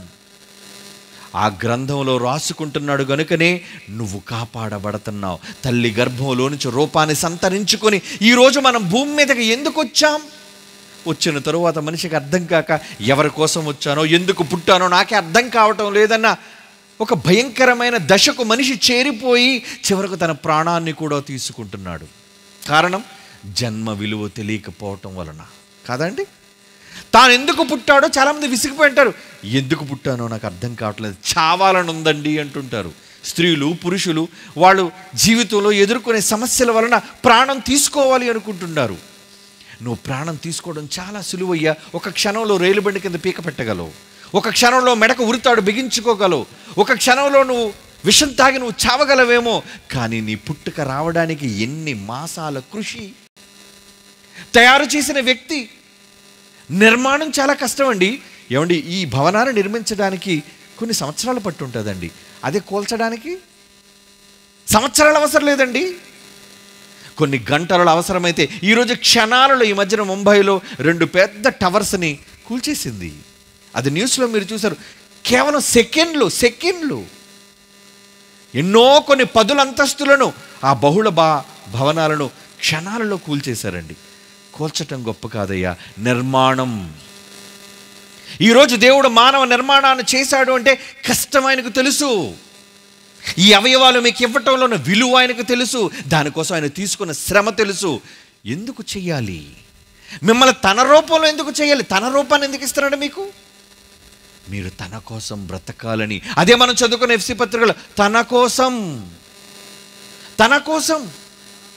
ఏమండి మీకు ఒక నిజాన్ని చెబుతాను. తల్లి కడుపులో ఉమ్మ నీరు ఉంటుందండి ఉమ్మ నీరు. ఆ ఉమ్మ నీటిలో తొమ్మిది మాసాల నీటిలోనే బ్రతుకుతామండి. అప్పుడు ముక్కు ఉంటుందండి కానీ శ్వాస లేదు.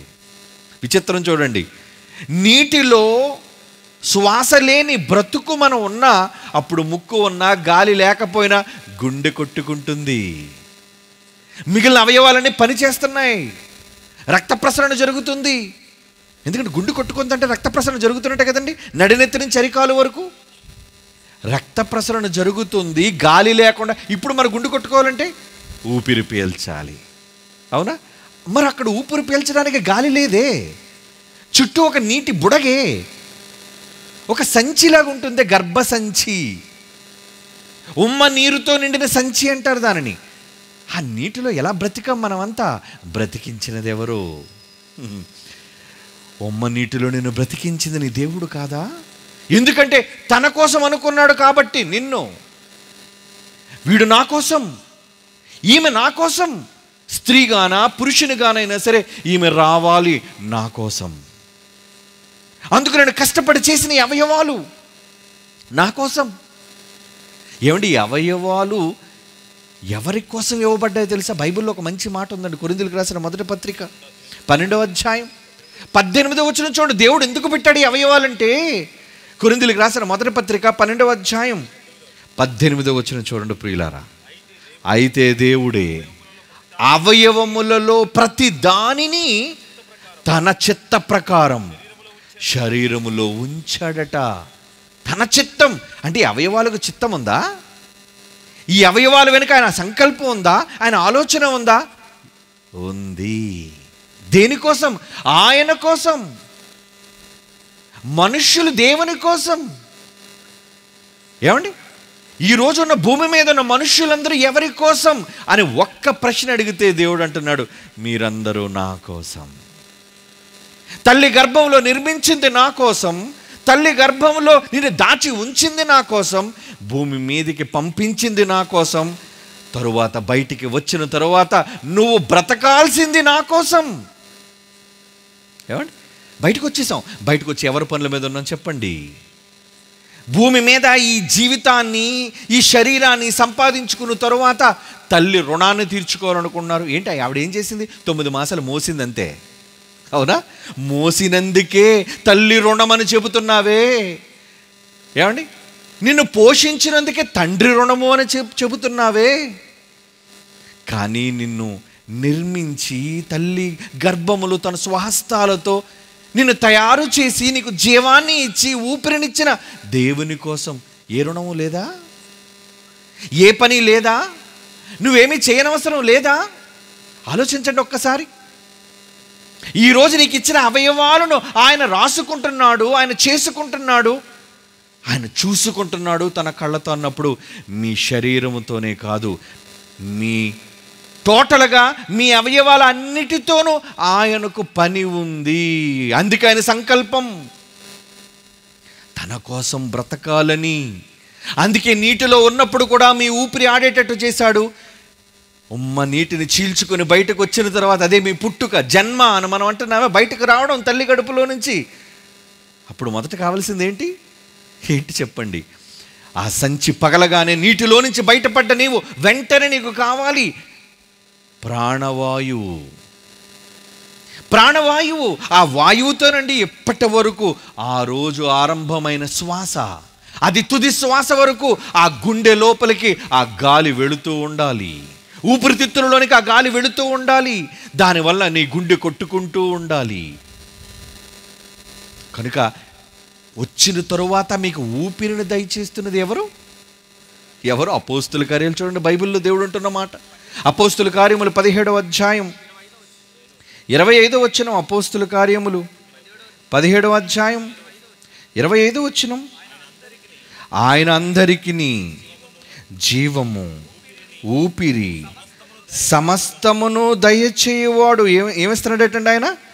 ఆయన అందరికీ అందరికీ అంటున్నాడు చూడండి ఆయనకు పక్షపాతం ఏముందండి? అందరూ ఆయన పిల్లలు కనుక. అమెరికా వాడైనా ఆఫ్ఘనిస్తాన్ వాడైనా పాకిస్తాన్ వాడైనా భారతీయుడైనా ఎవరైనా అందరికీ జీవం ఊపిరి ఇక సమస్తం ఒకటి కాదు. ఈరోజు మనిషి అనుభవిస్తున్నదన్నీ కూడా ఎవరు చేసినవి చెప్పండి. ఏమండి? మనిషి సొంతగా ఏం చేసుకున్నాడా? చెట్లు ఎవరు చేశారు? పళ్ళు ఎవరు చేశారు? కాయలు ఎవరు చేశారు? నేల నుంచి మొలిచి మొలిచే విత్తనములు ఆహార పదార్థాలు ఇవన్నీ ఏ శాస్త్రము ఏ ప్రపంచంలో ఏ మేధావి చేయలేదండి? దేవుడు తప్ప. ఎందుకు జరిగాయి ఇవన్నీ? కేవలం మనిషి కోసం మాత్రమే అంటే మన కోసం. ఉన్నవన్నీ మనిషి కోసమైతే మనిషి ఎవరి కోసం? దేవుని కోసం అందుకే నీ ఊపిరి నిలబెట్టాడు. తల్లి కడుపులో నీ ఊపిరి నిలబెట్టాడు. నిజంగా ఆ నిర్మాణాన్ని ఒక్కసారి పాటలు చూద్దామా? లైట్స్ ఆఫ్ ఎంత ఆశ్చర్యంగా ఉందో చూడండి. ఒక మంచి పాట. కమాన్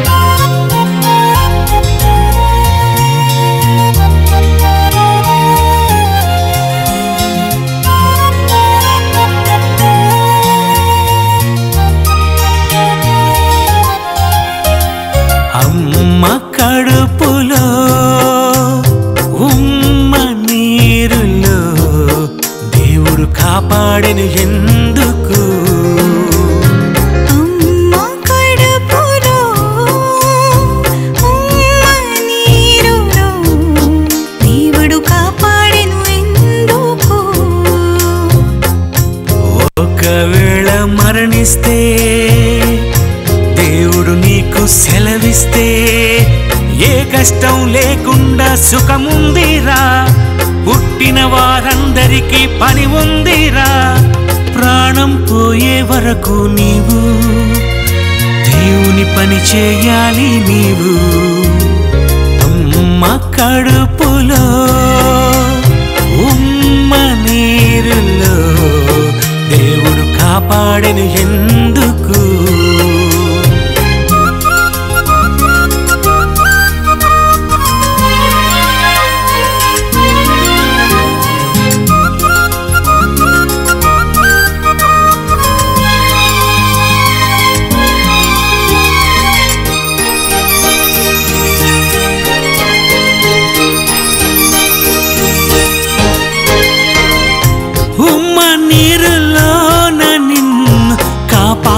நதி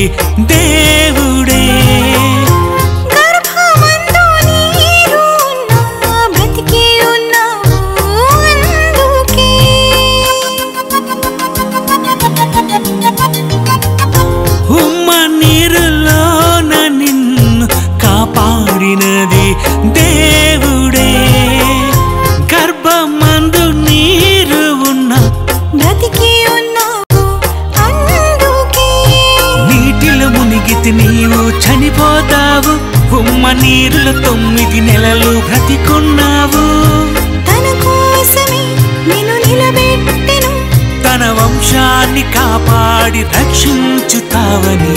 అమ్మ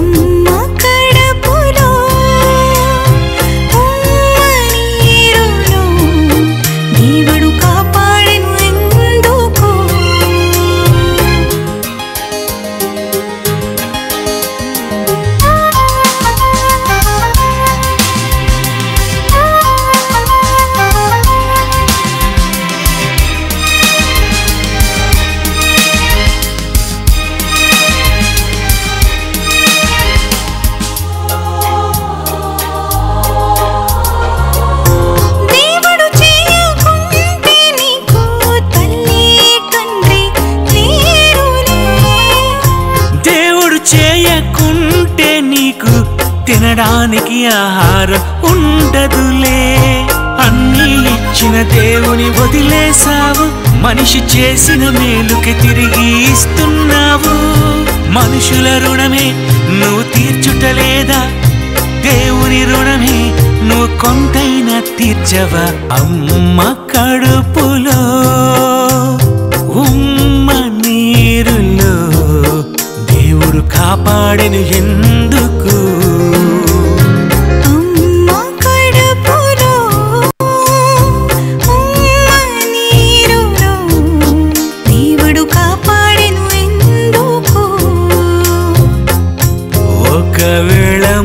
మరణిస్తే దేవుడు నీకు సెలవిస్తే ఏ కష్టం లేకుండా సుఖముందిరా.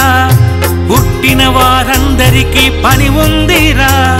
ప్రాణం పోయే వరకు నీవు దేవుని పని చేయాలి నీవు.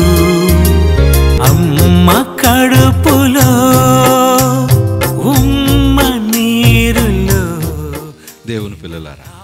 ఎందుకు ఇచ్చాడు? ఎందుకు కాపాడాడు నీ తల్లి కడుపులోకి?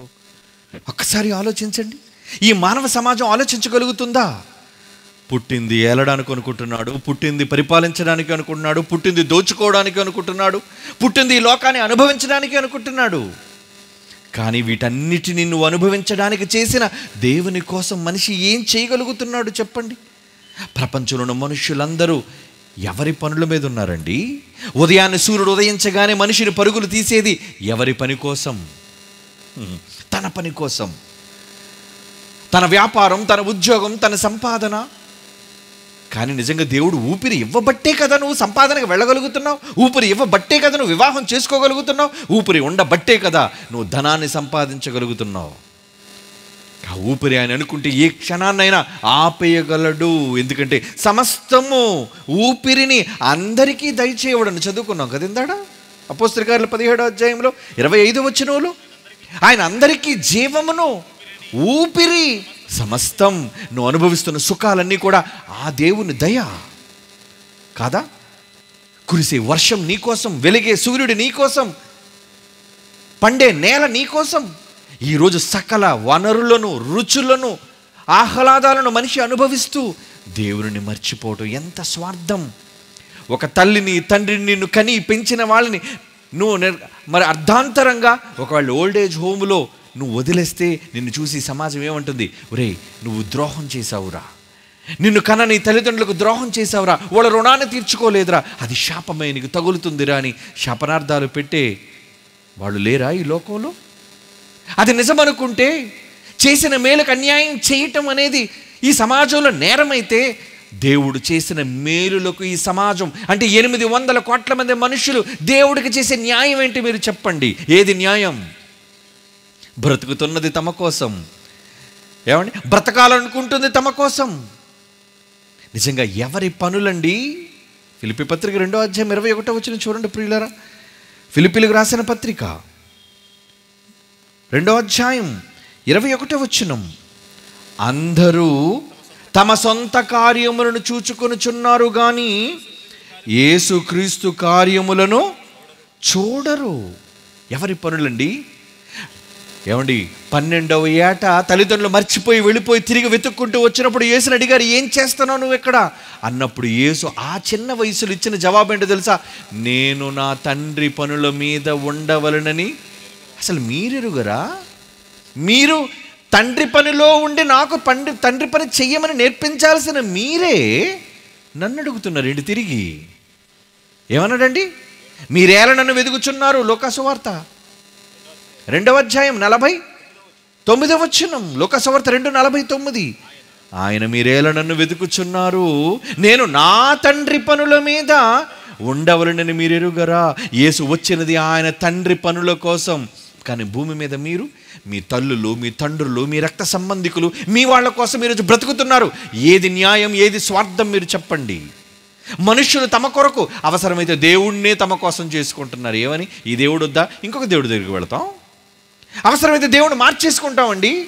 మాకు నచ్చిన దేవుడు మా కోరికలు నెరవేర్చే దేవుడు మా ఇష్టాలను తీర్చే దేవుడు మాకు కావాలి కానీ మమ్మల్ని హెచ్చరించే దేవుడు మమ్మల్ని నిందించే దేవుడు మా మీద శిక్షణ ఇచ్చే దేవుడు మాకు అక్కరలేదు. మనుషులను ఏమండి బజార్లో సరుకులు మారుచుకున్నట్టుగా ఈరోజు మార్చుకుంటున్నారు మనుషులు. అందుకే ఈరోజు ఊరికొక దేవుడు గ్రామానికి ఒక దేవుడు రాష్ట్రానికి ఒక దేవుడు దేశానికి ఒక దేవుడు ప్రపంచంలో కోట్ల కోట్ల కోట్ల మంది మనుషులలాగే వాళ్ళ సంఖ్య కూడా పెరిగిపోయింది. ఎందుకు? నువ్వు కాకపోతే నువ్వు నువ్వు కాకపోతే నువ్వు. నిజానికి భూమి మీద ఉన్న మనుషులందరికీ జన్మనిచ్చింది ఒక్క తండ్రి. ఒక్క దేవుడు. ఎందుకు చేశాడు? తన కోసం. కానీ మనుషులంతా తమ పనులలో స్వార్థపరంగా ఆలోచించి వారు తమ పనుల మీద ఉన్నప్పుడు తన కొడుకైన యేసును పంపాడు నాయన నువ్వు వెళ్ళు. నా పిల్లలు నాకు కావాలి. వాళ్ళ కోసం కలలు కన్నాను పుస్తకాలు రాసుకున్నాను వాళ్ళు పుట్టినప్పటి నుంచి. కానీ వాళ్ళు నా కోరిక నెరవేర్చటం లేదయ్యా. అందుకు ఆ మహనీయుడు వచ్చి ఏం చేశాడో వెళ్ళిపోయే ముందు ఈ కొన్ని మాటలు ముగించుకొని చదివి మనం వెళ్ళిపోదాం. ప్రకటన గ్రంథం చూడండి ఏమంటున్నాడు? ప్రకటన గ్రంథం ఐదవ అధ్యాయం తొమ్మిది పది వచనాలు చూడండి. యేసుక్రీస్తు వారిని గురించి రాయబడుతున్న సందర్భం ప్రకటన గ్రంథం ఐదవ అధ్యాయం తొమ్మిది పది వచనాలు.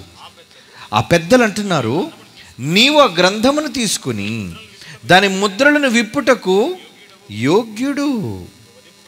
నీవు వధింపబడిన వాడవై. నీ రక్తమిచ్చి ప్రతి వంశం. ఆయా భాషలో మాట్లాడు ప్రజలలోనూ ప్రతి ప్రజలోనూ ప్రతి జనములోనూ. దేవుని కొరకు మనుష్యులను కొని ఎవరి కొరకట మనుషులు దేవుని కొరకు మనుషులను కొన్న మహనీయుడు. అంటే మనుషులు ఎందుకు ఎవరి కోసం పుట్టారు అనేది చెప్పాడు ఈ ప్రపంచానికి. మీ పుట్టుక దేవుని కోసం. ఏమంటున్నాడు చదువున్న వల్ల మాట? ప్రతి వంశములను ఇది ఒక్కరి కోసం కాదండి ఏ జాతి కోసమో ఏ క్రైస్తవుల కోసమో ఏ వర్గం కోసం చెబుతున్న మాట కాదు. ప్రతి వంశములోనూ ఆయా భాషలు మాట్లాడు ప్రజలలో ప్రతి జనములోనూ దేవుని కొరకు మనుష్యులను కొన్నాడటండి. కొన్నాడు. ఎలా కొన్నాడు? ఏమిచ్చి కొన్నాడు నీ రక్తమిచ్చి. రక్తమిచ్చి ఈరోజు మీరు దేన్ని కొనగలరా చెప్పండి? ఒక ఫ్రిడ్జ్ రక్తం ఇచ్చి కొనగలరా? ఒక టీవీ రక్తం ఇచ్చి కొనగలరా? ఒక ఇల్లు రక్తం ఇచ్చి కట్టగలరా? రక్తం ఇవ్వమంటే అసలు మీరు కొననే కొనరు. కారణం మీరు బ్రతుకుంటేనే కదా అవన్నీ. కానీ అలాంటిది సమాజంలో దేవుణ్ణి మర్చిపోయిన ఈ నర సమాజాన్ని దేవుడికి తిరిగి అప్పగించడానికి ఆ మహానుభావుడు ఏం చేశాడు తెలుసండి? తన రక్తాన్ని పెట్టాడండి. తన రక్తం ఇచ్చి సంపాదించాడు. అంటే రక్తం ద్వారా సంపాదించిన సంపద. ఎవరు? మనం అనుకుంటాం రే నా రక్తం కార్చి సంపాదించాను రా దేన్ని? కోట్ల రూపాయలు దానా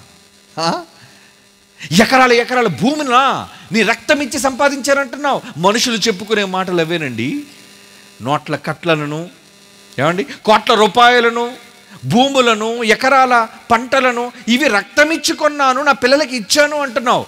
నీ పిల్లలకి ఇచ్చావు సరే కానీ నీకు జీవాన్ని ఊపిరినిచ్చిన నీ దేవునికి ఏమిచ్చావు ఏమిచ్చావు ఏమీ లేదండి. చివరకు దేవుని నుంచి సమస్తాన్ని పొందుతున్నాడు మనిషి. కానీ ఆ దేవుడు తన పిల్లలు తనకు కాకుండా పోతున్నారనే ఆవేదనతో ఆ మహానుభావుడు తన కొడుకును చూచిన ఆయన నా పిల్లలు కావాలయ్యా నాకు. అన్న మాటకు లోబడిన వ్యక్తిగా భూమి మీద మనందరిలాగే మరియమ్మ గర్భంలో శరీరాన్ని సంపాదించుకున్న ఆ మహనీయుడు భూమి మీదకి వచ్చి ఈ దేహం అంతటిని మనుష్యుల కోసం మనుష్యుల కోసం తన రక్తాన్ని ఇచ్చి కొన్నాడు. అంటే ప్రాణం. ప్రాణం ఇచ్చి మనందరినీ కొన్నాడే. సమాధి చేయబడ్డాడు. మూడో దినాన తిరిగి లేచాడు. అందుకే ఆయన మహనీయుడయ్యాడు శకపురుషుడయ్యాడు. మనందరికీ రక్షకుడు జగత్ రక్షకుడు అయ్యాడు ఆయన. ఈరోజు ప్రపంచమంతా ఎందుకు? ఆయన రక్షకుడుగా అంటుంది. ఎవరి కోసం రక్షకుడు? ఏ ఒక్క తెగకో ఏ ఒక్క ప్రాంతానికో ఏ ఒక్క భాషకు చెందినవాడు కాదు సర్వమానవాళి కోసం. అందరి కోసం తన సొంత రక్తాన్ని ఇచ్చారండి సొంత రక్తం. ఎవరి రక్తానో ఇవ్వలేదు. తన దేహంలో చివరి రక్తపు బొట్టు చివరికి సిలువులో ప్రక్కలో బల్లెముతో పొడిస్తే ఆయన శరీరంలో నుంచి రక్తము చివరికి నీరు కూడా వచ్చేసిందండి. ఇంకా ఒక్క చుక్క కూడా లేదు ఆయన బాడీలో? లేదు. తన చివరి రక్తపు బొట్టు వరకు మానవాళి కోసం మనుష్యుల కోసం త్యాగం చేసిన దైవం ఎవరు? ఏసండి అంతేగాని దేవుడు మనుషుల ప్రాణాలను తీయాలనుకున్న లేదా దైవం? మనుషుల ప్రాణాలను హరించాలనుకున్న లేదా దైవం? తనను నమ్మని వారిని హతమార్చాలి అనుకోలేదా దైవం? తను అంగీకరించిన వారిని శ్మశానంగా చేయాలి అనుకోలేదా దైవం? తన కోసం తన తండ్రికి ఇచ్చిన మాట కోసం భూమి మీద మనుష్యుల సర్వ మానవాళి కోసం తన ప్రాణమే పెట్టిన దైవం అండి ప్రాణం పెట్టిన దైవం. ఈరోజు దేవుళ్ళైన వాళ్ళని ప్రాణాలు తీసే దైవాలు వాళ్ళంతా. దైవం అంటే ప్రాణం తీయాలి ఆయుధాలతో మనుషులను చంపాలి. అప్పుడు వాళ్ళు దైవం అనిపించుకుంటున్నారు. కానీ యేసు ఆయుధాలతో మనుషుల ప్రాణాలు తీసే దైవం కాదాయన. తన సొంత రక్తాన్నే ప్రాణాన్నే మనుష్యుల కోసం పెట్టిన దైవం. ఎందుకు? కొనాలి గనుక. తన ప్రాణమిచ్చి మనల్ని కొన్నాడు గనుక. సంపాదించాడు కాబట్టి మీరే దేవుని ఆస్తి మర్చిపోకండి. సంపాదన అంటున్నాడు చూడండి. ఏమండి? అపోస్తుల కార్యాలు ఇరవై అధ్యాయం ఇరవై ఎనిమిదో వచ్చినవండి అపోస్తుల కార్యములు ఇరవై అధ్యాయం ఇరవై ఎనిమిదో వచ్చిన దేవుడు తన స్వరక్తం సొంత రక్తం తన స్వరక్తం ఇచ్చి సంపాదించిన తన సంఘమును కాయుటకు సొంత రక్తం ఇచ్చి సంపాదించినట్టు చూడండి సంపాదన అంటే? ఇందాక చెప్పాను కదా భూములు మీకు సంపాదన నోట్లు మీకు సంపాదన ఇవన్నీ మీకు సంపద అనుకుంటున్నారు కానీ దేవుడికి సంపద ఏది? మీరే ఆయన సంపద. దేవుని సొత్తు అంటున్నాడు చూడండి మొదటి పేతురు పత్రిక రెండో అధ్యాయం తొమ్మిదో వచ్చినం మొదటి పేతురు పత్రిక రెండో అధ్యాయం తొమ్మిదో వచ్చిన అయితే మీరు చీకటిలో ఉన్నప్పుడు దైవాన్ని మరిచినప్పుడు మీ కొరకే దైవం అని అనుకుంటున్నప్పుడు ఆశ్చర్యకరమైన తన వెలుగులోనికి మిమ్మల్ని పిలిచిన వాని గుణ గుణాన్ని అతిశయాన్ని ప్రకటించినట్లు మీరంతా ఏర్పరచబడిన వంశం రాజులైన యాజక సమూహం పరిశుద్ధ జనం. ఈ మాట చూడండి దేవుని సొత్తైన ప్రజలు దేవునికే సొత్తా మీరు?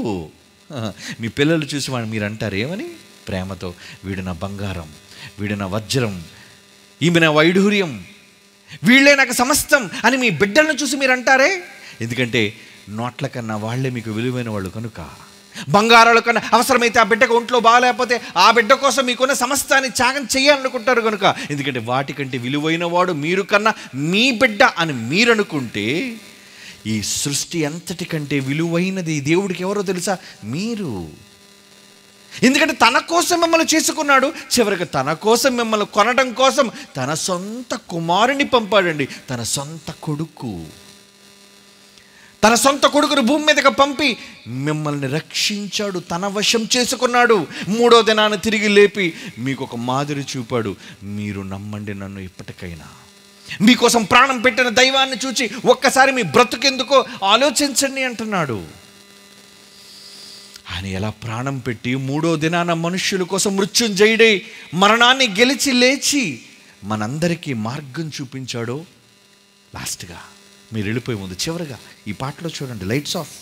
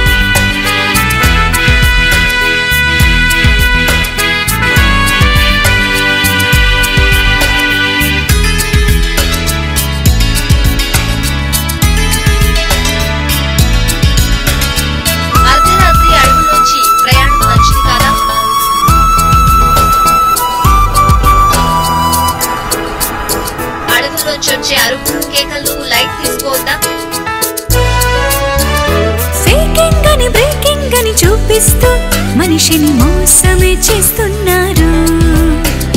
బ్రేక్ అయినది ఏసున్న సమాధని ఆ వార్తను దాచేశారు. ఏదో మూలన జరిగిన కార్యం కాదని చెప్పారా? రోమా ప్రభుత్వ కాలంలో జరిగిందని చెప్పారా? రుజువులతో జరిగింది సమాధి ఖాళీగుంది శక పురుషుడని చెబుతుంది. నమ్మిత స్వర్గం ఉంది క్రీస్తే రక్షకుడంది బైబిలే సాక్ష్యం గుంది. తెలవారకముంది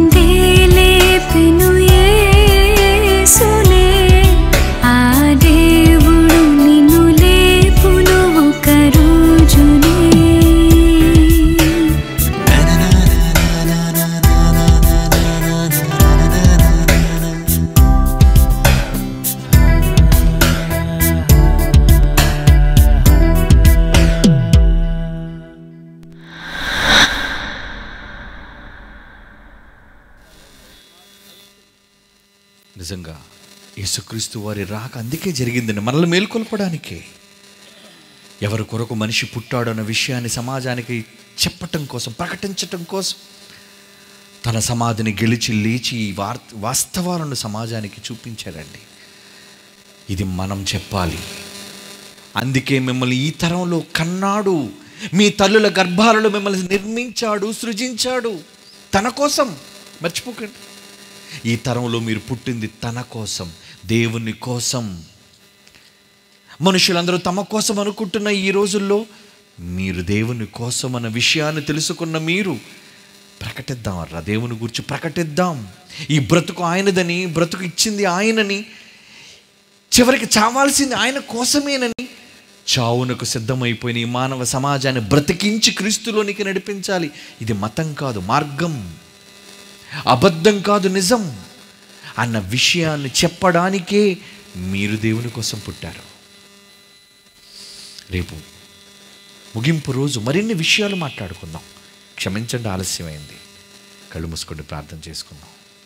పరిశుద్ధుడు అయిన తండ్రి నీ పిల్లలు దూరాల నుంచి వచ్చారు. మీ మాటల మీద ఆసక్తితో వాళ్ళు మిమ్మల్ని ప్రేమించారు గనుక వచ్చారు. ఆ వాళ్ళని మీరు ప్రేమించారు గనుక వాతావరణాన్ని అనుకూలపరిచారు. అందుకు మీకు ధన్యవాదాలు.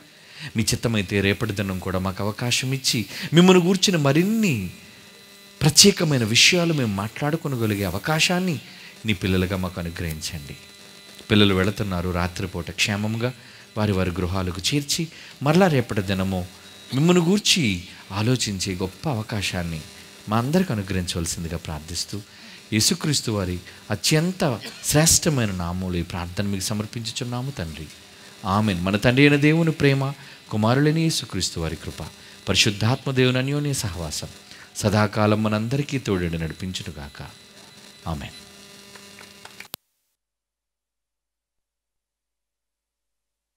కులపరిచి అద్భుతమైన మాటలు మనకు అందించినందుకు మన తండ్రి అయిన దేవునికి మనం కృతజ్ఞతలు చెల్లించాలి. ప్రియులరా మరి రేపటి దినం ఇంకా మీకు తెలిసిన వారికి తెలియచేయండి.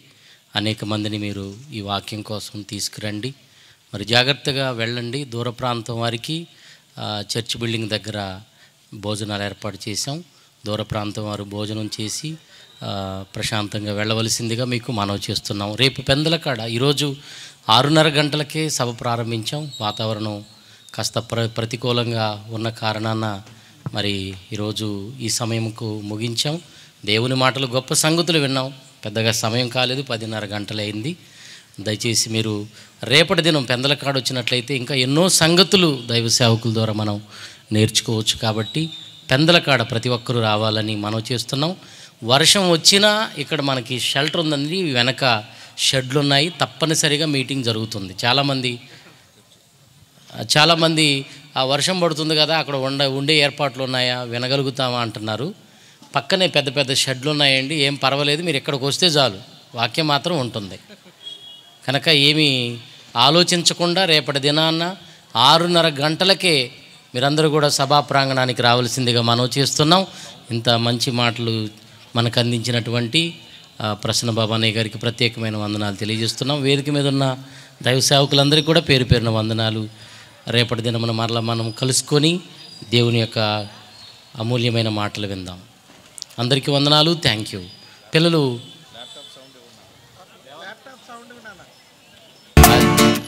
చైర్స్ అన్ని కూడా ఒక చోట వేయండి. కళాశాల పిల్లలు త్వరగా వెళ్ళిపోయి చర్చి బిల్డింగ్ దగ్గర దూర ప్రాంతం వారికి భోజనం ఏర్పాటు చేయండి. రేపు ఆరున్నర గంటలకే ప్రారంభమవుతుంది. దేవుడు ఈరోజు చలి కూడా లేకుండా చేశారు. చలి లేదు చాలా మంచి వాతావరణం.